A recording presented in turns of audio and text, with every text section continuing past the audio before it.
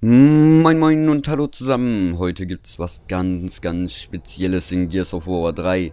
Es gibt nicht irgendein Privatspiel, nein, es gibt eine Open Lobby bei Yamimash. Wem der Name Yamimash nicht sagt, das ist mein absoluter Favorit Gears-Spieler, aka YouTuber schlechthin. Das ist einer mit der größten, ja, Gears Community Channels, so die ich kenne. Er macht recht gute Gears Videos, aber spielt auch allen möglichen andere Sachen. Und ja, diese Person hat mich zu einem privaten Spiel eingeladen und wer war zufällig noch mit dabei? Man glaubt es wirklich kaum, Eddie. Die Wahrscheinlichkeit, dass wir beide in eine Open Lobby bei Yamimash reinkommen, war, ich sag mal, 1 zu einer Million, dass wir beide im Lotto gewinnen. Also ich, der macht vielleicht einmal, wenn es hochkommt im Monat, wenn er Lust hat, eine Open Lobby auf für seine Abonnenten, dass man mal die Möglichkeit hat, mit ihm zu spielen oder mit ihm zu reden. Und ich hatte gestern halt erfahren, dass er Open Lobby aufmacht. Dann habe ich noch zu Eddie gesagt, wollen wir uns nicht mal bewerben? Wir kommen eh nicht rein. Komm mal, komm, wir schreiben hier in Invite me, please. Hm, hatten wir beide geschrieben und das sollte eigentlich so um halb zwölf, zwölf sein, aber wer weiß, wann das in den UK ist, zum Vergleich zu unserer Zeit. Da war es, wie man sieht, gerade bei uns kurz nach eins und ich bin dann auf einmal mit einer Einladung in die Lobby reingekommen und ich sagt euch nur, ich war glücklich wie ein Kind in einem Süßigkeitenland. Eddie und ich sind in die Party gesprungen. Oh mein Gott, oh mein Gott, oh mein Gott, wir wurden von The Mash eingeladen. Also das ist jetzt nur so, falls ihr das mal so verstehen wolltet, im Vergleich so gleich zu euch. Ähm, das ist so, als ob euch Gronk einladen würde und sagt, hey, habt ihr nicht mal Bock mit mir eine Runde Minecraft zu spielen? So. Ich, ich war aus dem Häuschen, ey. Das war wie Weihnachten, Geburtstag, Ostern und mein eigener Tod auf einmal. So, wirklich auf einmal. Das ist wirklich mein absoluter Gears-Favorit-Lieblingsspieler. So, jedes Video, was der postet, ziehe ich immer rein. Ich geil. Ich höre mich an wie ein dreckiger kleiner Fanboy gerade, aber das muss raus. Und ihr seht meine Noobigkeit, weil ich so aufgeregt gestern Abend war, dass ich nicht gemerkt habe, dass wir in der ersten Runde gleich Execution spielen. Das war schon mal was. Und als ich dann wirklich das 1 Uhr rum habe ich mit jemandem gespielt und auf einmal kam die scheiß Einleitung von Yummy Mash und ich dachte, scheiße, scheiße, der lädt mich ja wirklich ein. Oh mein Gott, oh mein Gott, schnell hin. Ich hin, Rechner an, Aufnahme an. Ich so, was muss ich doch aufnehmen? Oh mein Gott, oh mein Gott, oh mein Gott, habe ich nur gesagt. Und dann sehe ich, wer ist in der scheiß Lobby drin? Der Edinator. Eddie hat's auch geschafft. Er lädt mich gleich zur Party ein. Wir beide aus dem Häuschen. Ey, wir haben es geschafft und das beide gleichzeitig. Das beide gleichzeitig. Und da hat schön Eddie geheadet, während ich schön vor ihn vorgesprayt habe.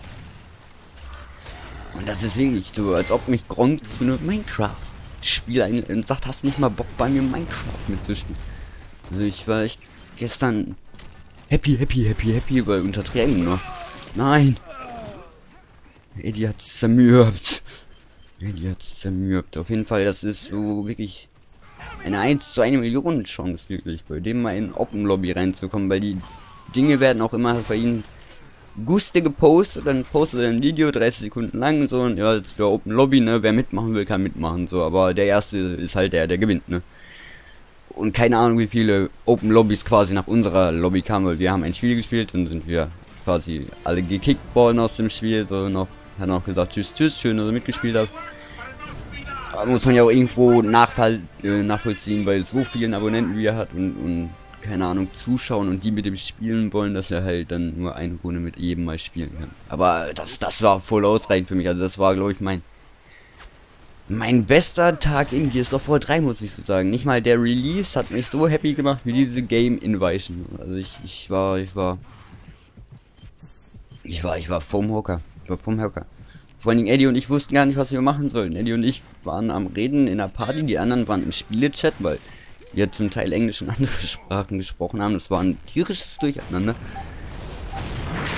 Und, ähm, ja, Eddie und ich wussten gar nicht so recht, was wir machen sollen. Die ganze Zeit waren wir, ja, lass mal lieber dahin gehen und wir pushen so rum. Und wir waren, wir waren, wir waren einfach nur glücklich, da zu sein. Wir hätten aber glaube ich, tierisch eine auf Fresse kriegen können. Das wäre auch, glaube ich, nicht so schlimm gewesen. Oh, da kommt ein Digger, habe ich gerade gehört. Und da seht ihr schon, die spongen alle wie Hulle. Ich weiß nur, dass Eddie noch am Ende geschrien hat, der, der Mash ist raus, der pusht mich. der, der, frisst alles auf. Oh, ich habe I Bradmate wieder erwischt. I Bradmate. Bradman ist so weit bekannt, dass er von Yummy Mush mal vorgestellt wurde in einem seiner Videos. Daher kenne ich ihn. Dass er auch Gears spielt und der übelste Klatschtaschen-Typ ist. Immer Klatschtasch vor the Wind kommt bei dem. 11 gegen 1, 7 gegen 1, 5 gegen 1, da habe ich schon Videos gesehen. Buh. Buh, da hätte ich dann gesagt, wenn ich da verloren hätte. Aber so weit, so 2 zu 0. Ich bin nicht der Execution-Spieler The Mash. 0 zu 3. Was geht? You can't destroy the Mash, sagt er doch immer. Wir haben es gerade glänzend widerlegt. Also ich, ich, ich, ich weiß gar nicht, was ich dazu sagen soll. Ich bin einfach nur mega happy, dass sowas mal geklappt hat. So, ich habe da drauf gebetet, drauf gehofft. Ich hätte sogar, glaube ich, Microsoft Points dafür bezahlt, dass ich da hingekommen wäre. Jetzt, jetzt, jetzt. Jetzt gehen wir hier rum und gucken, dass wir irgendwie vorwärts kommen. Da rieche ich schon hier. Das Dumme bei Execution ist halt, man hat nur ein Leben. Wenn du tot bist, bist du tot in der Runde. Das will man eigentlich nicht so gut riskieren. Komm, den kriege ich. Den kriege ich. Außer jemand schreit. Ey, was? Hier wird gepuncht. Warum? Ey, wir sind in der Open Lobby vom The Mash. Da wird doch nicht gepuncht. Wenn schon gelancert wird, wird doch nicht gepuncht. Oh. He destroyed me. Oh, ich war sogar unlucky bastard. Round 1. äh, Round 4 meine ich. Ich bin hier schon so äh, verwirrt und aus dem Häuschen, dass ich immer auf Mash seinen Namen achten muss. Okay, wir haben jetzt 4 zu 0 gewonnen. Ich weiß, danach haben wir zweimal einen richtig auf die Löffel gekriegt. So. Aber ich war eh sowieso 90% gar nicht anwesend in dem Spiel. Ich war einfach nur, oh mein Gott, oh mein Gott. Das, das war fucking awesome, ey. Und ich, ich weiß nicht, ob ich so, so ein Video noch mal hinkriege. Ich hatte mich schon zwei, dreimal davor beworben. Gehabt, als ich das Video quasi gesehen hatte. Und das war dann schon zu spät. Aber diesmal hatte mich Facebook gerettet in dem Sinne, dass ich, ähm, oh, get fucking owned. Dass, dass ich auf Facebook gesehen habe, ja, there's a big possibility for Saturday night uh, to get an open lobby with me. Und quasi, ich hing dann schon seit Freitag rum und wusste, dass es kommt und war quasi dementsprechend vorbereitet. Dann habe ich noch Ey Bescheid gesagt und gesagt, wollen wir es nicht mal probieren? Komm, du magst den Mesh aus, wir gucken Mesh immer gerne. Get fucking raped ist ein Spruch, der vom Mesh kommt. Kommt von zu vielen Mesh-Videos gucken. Also ich kann nur mal empfehlen, wenn ihr ein bisschen Englisch Auffassungsgabe, Englisch versteht, euch schon mehrere englische Videos anguckt, guckt euch Yami Mash seine Videos mal an, die sind echt hilarious am besten besten finde ich immer so die ganzen Nightmare House oder Horror House, was er da spielt. Er ist echt zum Wegbrüllen, ey. Wenn er noch mit, mit Facecam sich selbst aufnimmt, ist es hilarious. Oh mein Gott, das war ja echt knapp für ihn. Ich dachte, die kriegt er jetzt voll in die Schnauze. Get owned. Ich werde, glaube ich, mal den Kanal so vielleicht mal Linky Linky machen. Bradmate hat es geschafft zu gewinnen, indem er einfach da war noch. Und der Mesh 0 zu 5, da hat Eddie und ich gefragt, was ist mit ihm passiert. Ist ja gar nicht da, spielt jemand anderes für ihn. Aber man hat ihn ja im, in der Vorbereitungslobby gehört, von daher wusste man, dass es ja wenigstens der Mesh ist. Aber ich glaube, das war so das erste Spiel und wenn man so um 12 Uhr nachts anfängt zu spielen, ist nicht so der Tag, als wenn man gegen Eddie und mich spielt. Oh, scheiße. Und wisst ihr, wer das war? Das war der Mesh.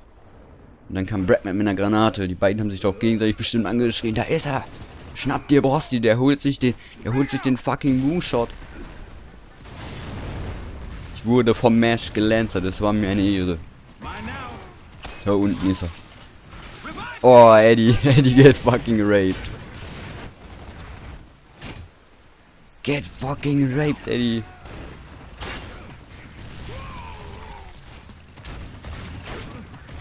Was wird das? Blind Fire for the win. Und der Mesh der Mash am Drücken. Ich werde versuchen, auf jeden Fall, wenn das nächste Mal wieder Open Lobby ist, wieder reinzukommen. Das wird auf jeden Fall wieder mein... Oh, hat der Bradman gekriegt, sehr nice. Oh, der King die Host Knasher kommt mal nicht an. Aber trotzdem, bis jetzt, das Spiel war von meiner Seite aus hat Überlaune gemacht. Ich war happy, happy, happy as hell. Wenn man die letzte Runde sieht, versteht man das. This is for you, Anthony. Gab's überhaupt einen Anthony? Nicht, dass ich es gesehen hätte, oder?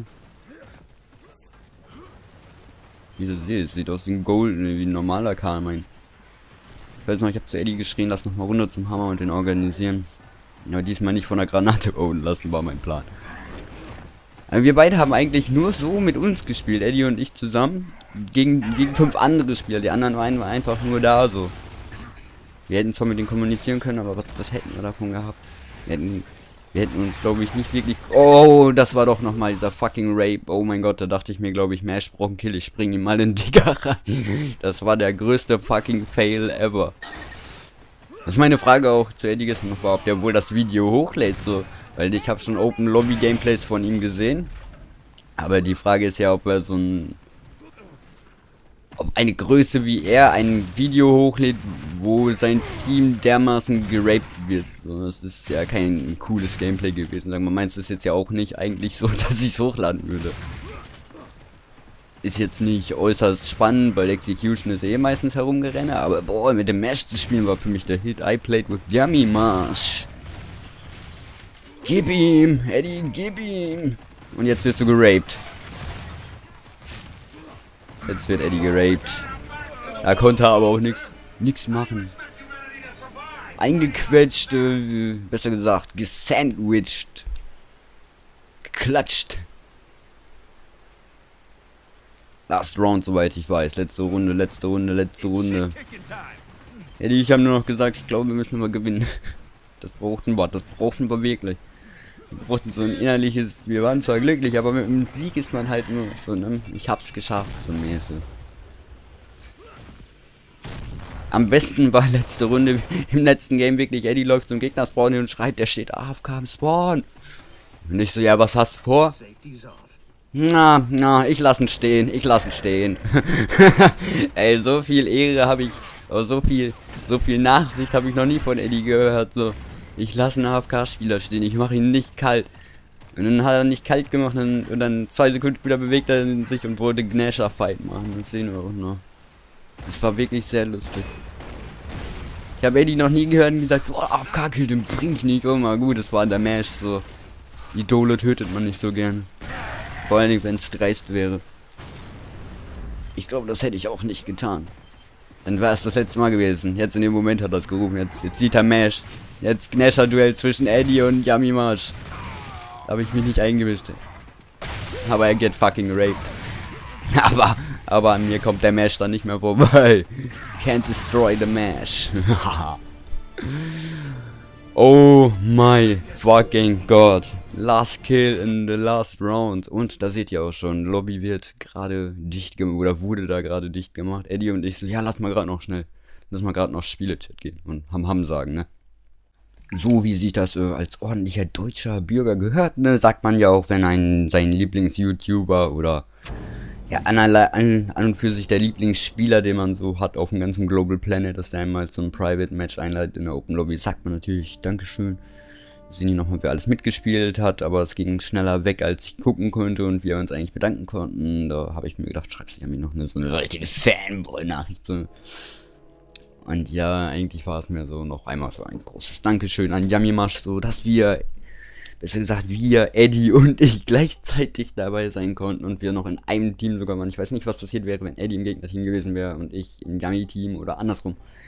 Ich glaube, das wäre katastrophal geendet. Und soweit muss ich noch kurz sagen, eigentlich großes Dankeschön, dass man dabei sein konnte. Ne? Es war für mich ein Riesenerlebnis. Bis hin zum nächsten Mal, wenn ich irgendwann überhaupt noch mal dabei sein werde. Ich hatte mich ja schon ein, zwei Mal beworben. Aber das, das war jetzt Erlebnis in Gears of War wirklich für mich und Eddie. Ich glaube, da werden wir erstmal die nächsten Wochen noch gut von bedient sein. Weil dieses Spiel hat so viel Scheiß Erfahrungen gebracht. Und jetzt einmal wie ein doppelter Lottogewinn. Ich sag's euch, einmal wie ein doppelter Lottogewinn, was für mich und Eddie gestern ist, dass ich ihn da drinnen getroffen habe. Ich habe mir den Arsch abgefreut, dass ich alleine mit Yami spielen darf und dann noch mit Eddie. Ich habe unglaublich, unglaublich. Eigentlich wollte ich die Rage Tage noch heute rausbringen, aber das wird wohl nichts mehr, weil ich habe jetzt das fertig gemacht. Und dann komme ich zu Rage Tage und weiß nicht, wann das fertig wird. Und dann sage ich, Mittwoch, Mittwoch kommt raus, schreibt euch auf, Mittwoch kommt Rage Tage Nummer 2. Und ja, ich würde sagen, ich hoffe, ich konnte ein bisschen unterhalten, ich konnte ein bisschen lustig sein, ich konnte ein bisschen wie so ein Fanboy, ich bin da, ich bin da, ich bin da, da. Okay, ich würde sagen, wir hören uns dann im nächsten Video und äh, macht euch noch einen schönen Sonntag.